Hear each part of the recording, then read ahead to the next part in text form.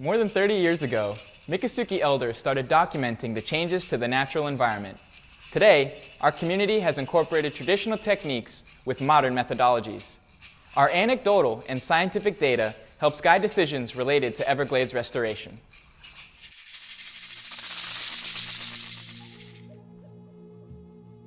The Everglades is a very large and unique ecosystem in the U.S. It's the, there's a term of this, the only one Everglades, and it's true, there is the only one Everglades. Within the United States, it's the largest wetland, continuous wetland and flowing river. Starts at Orlando area, Kissimmee River, the river comes down into Lake Okeechobee, and it comes down all the way into the bay through the Everglades, all the way into the bay. But it, but it was a big old river coming down because there's hills, it's high up there. So it just flowed all the way into the, uh, to the bay, but that don't exist no more. Because the Everglades exists all the way from Naples all the way to Miami. Just getting smaller and smaller every day, the development.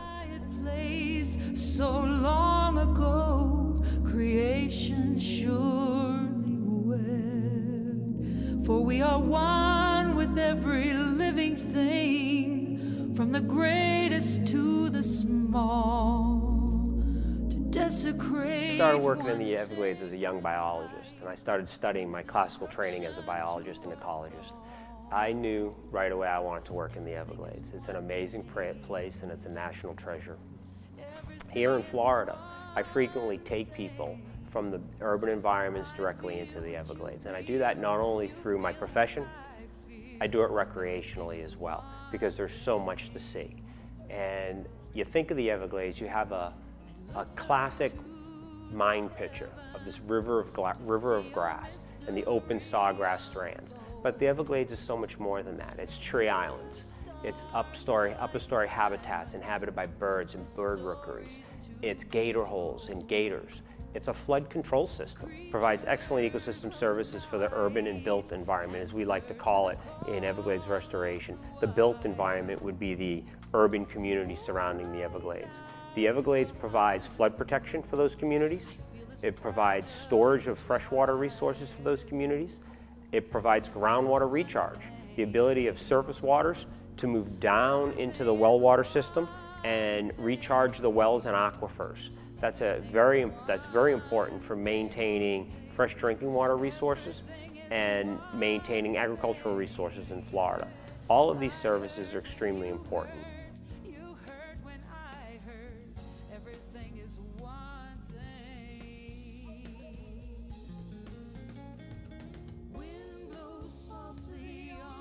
Since the Everglades study was initiated 30 years ago, there's been a number of dramatic changes in the Everglades. Things like water management, things like nutrients in the water and pollution coming from agricultural and anthropogenic sources have impacted the Everglades. Water volumes in particular within the last decade have, been, have forced a very dramatic change. Over the last decade, there's been an increased quantity of water stored in Water Conservation Area 3, and that has greatly affected the use of the islands and the community members and the interaction with the islands. For instance, this year on the Everglades study, the maximum water depths were 44 inches throughout the region.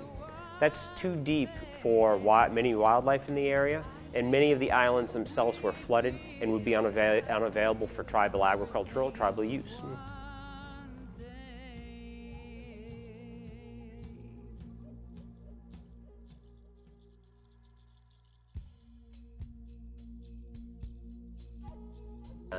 One thing that was noted in earlier studies was a very common occurrence of wildlife.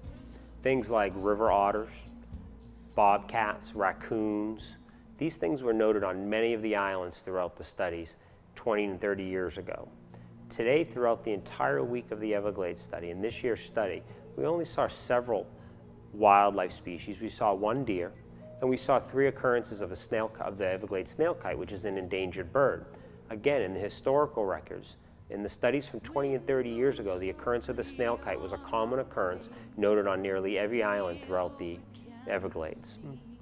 It is today, the Everglades is dying, it's not, it's not getting better, but your animals, your deers, your raccoons, your rabbits, uh, yeah, they're all disappearing.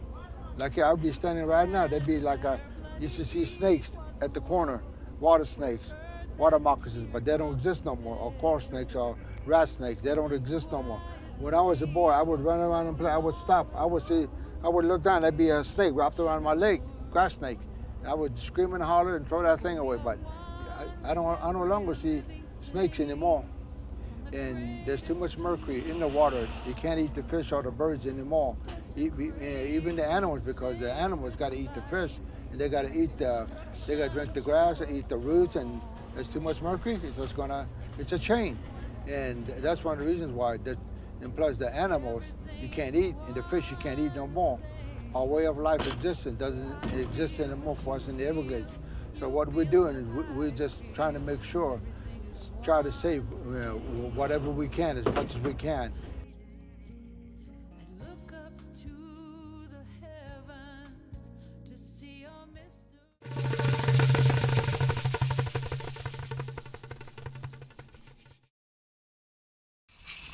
South Florida depends on the Florida Everglades as a source of fresh water, and the Everglades is dying.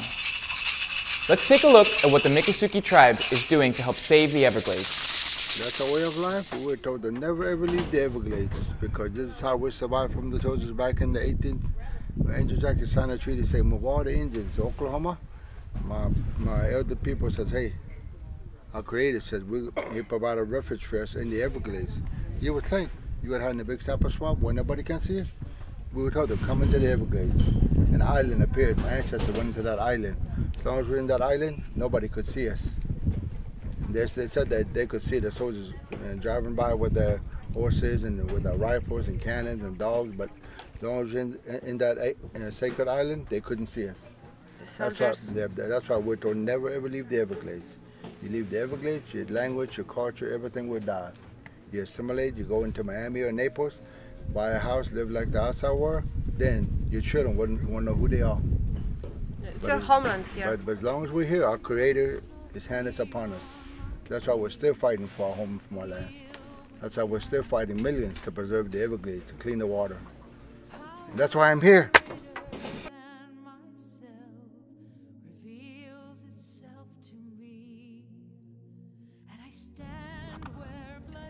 Water has had very significant effects in the Everglades. High water has affected the ability of the Miccosukee people to have native farming and native agriculture on the tree islands. It's had a very detrimental effect with the loss of tree islands. Many tree island species, large woody species and plants have passed and are no longer existing on the tree on tree islands. The tree islands, the, the large woody species require oxygenate oxygen in the root zone. And to get that oxygen in the root zone, you need soil exposed to air, not water for these for the large plants. So when the tree island's flooded, 90 days has been determined to be a key indication for what they sit, how they stand currently. Traditional ecological knowledge and what the tree islands looked like years ago tell us that 90 days is too much because at 90 days, those woody species, those large trees that built up the core of these tree islands have passed when their roots die and the roots begin to oxidize and rot, the tree island loses, loses actual elevation. Meaning that the soil to the rock is five feet deep on a tree island. When, it, when the large trees die, the soil compresses. And that brings the total elevation of the tree island lower. So the deeper water has a compounding effect. Everglades is a home for tribal members. They, they've been born there. They've been living there, they've been going to school, they're going to the town to, to do shopping, but they, this is their home. So any type of um, events that's really happening in the Everglades, for us, it's, we call Everglades, for them, it's own backyard. So if you're having a high water event, it's like flooding your own house. So of course they, they're very attached to and, and they're very consider about everything what is going on in the Everglades now. Today as we speak, the water at the site we're at is up to 33 inches deep, right here. And we started nine miles north of this site this morning. When we started nine miles north, the water was 25 inches deep. 25 is deep, but it's a, it's a, it's a level in which the animals can start to deal with. It's a extreme high water level. 35 and 36 that is a very high water level, very difficult for any of the animals to deal with. It's about 36 inches where we need maybe about two foot is about the, the right amount of water we need It's too high. When it's 36 cents, all your tree islands are all un underwater now. So you step around, you, are going to see some spots that are dry, but it will still be muddy. It's too high. Too high. And so is that when the levees come into play to alleviate yes, yeah, some, that, of, some that, of that this? has a lot to do with it. If it was a free flow, like back in the old days, like I said, the water, the water would be what, maybe a foot or under a foot. And some sections would be dry. Because when it, when it was natural, back in the old, before they built the highways and the levees and the canals and everything, there were, there were always spots that were dry and there were always spots that had water. But during the rainy season, then you would have more water, plenty of water. But, but, but, it, but it was a natural flow. Uh, tribal members inspire me that they never give up. They always standing up and they fight for that mother, which is Everglades for them. Besides um, the meetings and politics, they always uh, they speak up for those that they don't have a voice. They speak up for the ecosystem, and they're trying to keep as natural as may be. They're trying to protect from the uh, city, from the urbanization, from the impacts with the construction. But they inspire me because they never give up and they always gonna fight for, for Everglades. Yes, our young people are realizing that the Everglades is very important, but we're the ones that, when we're out here like this, we're teaching them by, by our walk and the way we live our life. Action speaks louder than words, like to say. That's what we're doing. And they're seeing us and they're thinking. When they grow up, they're going to be doing the same thing. Uh, what we're doing now is a positive example for our children's future.